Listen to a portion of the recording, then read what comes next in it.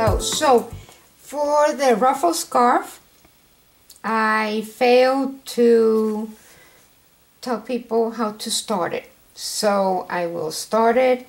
And this is, I'm going to cast on only 8. So, I made my slip knot. Remember how to do it. Around, pass it through. So, that's my slip knot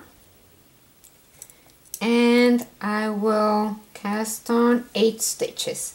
This is how the beginning for the ruffle this is the ruffle yarn remember we did that? We made a scarf.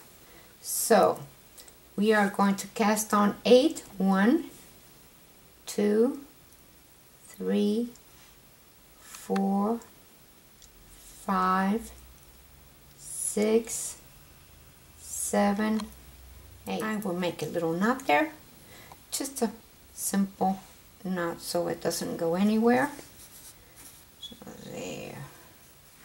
Done. So I'm going to knit eight.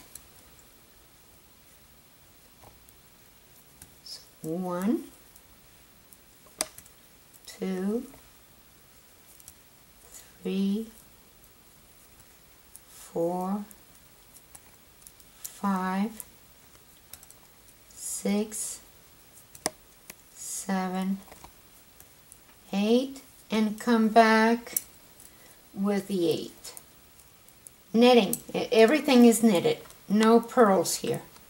One, two, three, four, five, six, seven, 8. Of course, uh, you, know, can do whatever amount you want. You can make 10, you can make 15.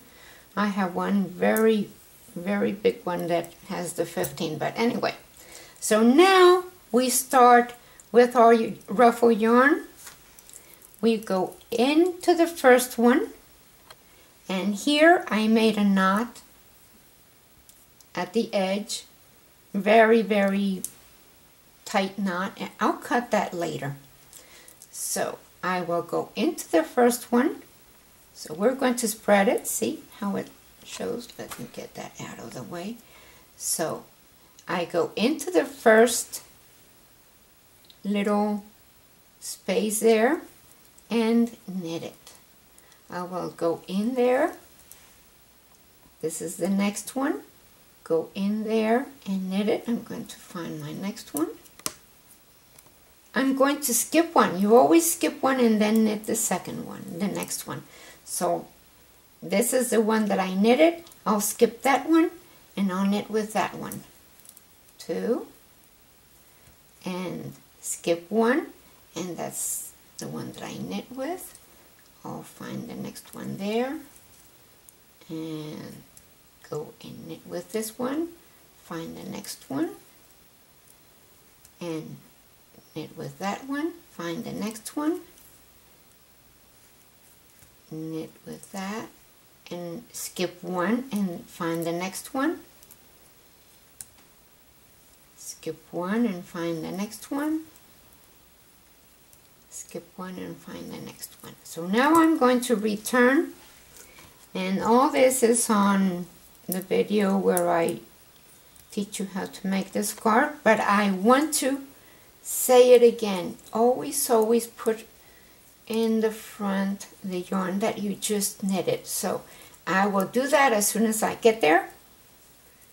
But this is so important. So, and find the next one. And find the next one. Go in there, find the next one go in there, find the next one, go in there and find it. So this is very important. The yarn that you just knitted with has to be in the front. So, and the next one that you're going to be using has to be in the back. Always, always, always, no matter what yarn you're using, the one that you just finished knitting with is going to go in the front and the next one is in the back. This is the one that I'm going to be knitting with. So that goes in the back and it's the same thing. So let's do this once more because it doesn't matter which yarn you're using at the moment. So we're going that way for eight stitches. Turn. Come back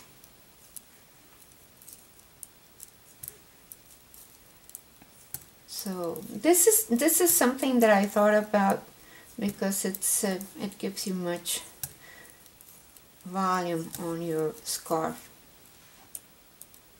okay so remember that the one you just knitted with has to be in the front and the one that you're going to be knitting with next has to be in the back. So this is the one that I just knitted in the front. This is the next one that I'm going to be using. It's in the back.